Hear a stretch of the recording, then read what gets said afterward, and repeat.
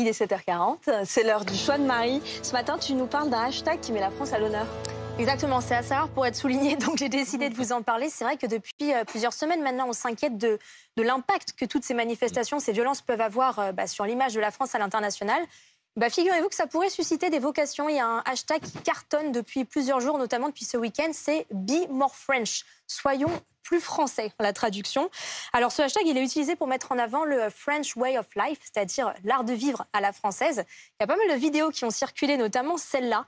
On voit des gens qui sont en train de, manger dans un restaurant assez euh, tranquillement, hein, comme si tout allait bien, alors que la rue est quand même en train euh, de brûler. Derrière eux, la scène, elle a eu lieu à Saint-Étienne.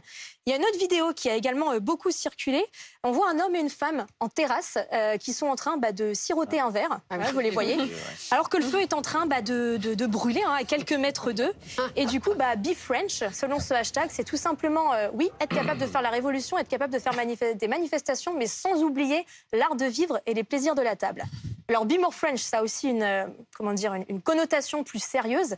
Et ça a été utilisé par beaucoup d'internautes britanniques qui appellent en fait à manifester, à se rendre eux aussi euh, dans les rues pour lutter pour leurs droits sociaux. Il faut savoir qu'au Royaume-uni, euh, le, le départ à la retraite, il est fixé à l'âge de 66 ans actuellement et il pourrait être reporté à 67 ans d'ici 2028 il y a beaucoup d'internautes euh, britanniques qui disent bah, pourquoi nous on ne fait pas comme les Français? Pourquoi nous mmh. on ne se rend pas dans la rue euh, pour euh, lutter contre le report de l'âge de la retraite? Il y a énormément de tweets sur le sujet avec ce hashtag Be More French, soyons plus français. Voilà par exemple la leçon pour le Royaume-Uni allumez les feux, descendez dans la rue. Il y a un autre tweet que j'ai sélectionné, mais il y en avait vraiment énormément. Les Français ont raison. On leur annonce que l'âge de départ à la retraite va passer de 62 à 64 ans et la population dit, nous, dit non. Pourquoi est-ce que nous, on n'est pas en train de manifester?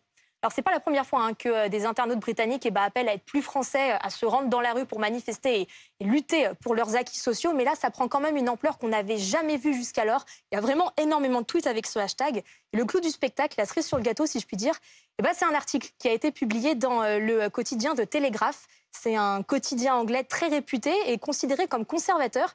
Et figurez-vous qu'il y a un éditorialiste qui a publié cette tribune dans laquelle eh ben, il appelle les Anglais à être plus français là aussi quand il s'agit de la question des retraites. Donc c'est vrai qu'on avait peur hein, que les Anglais euh, bah, soient un petit peu en colère après nous, après le report de la visite de Charles III. Apparemment, ils sont pas trop en colère et ça a même l'air de plutôt les inspirer, euh, notre mouvement social en France. Merci Marie.